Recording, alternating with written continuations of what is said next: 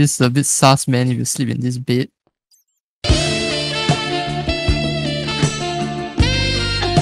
That's damn sus, man.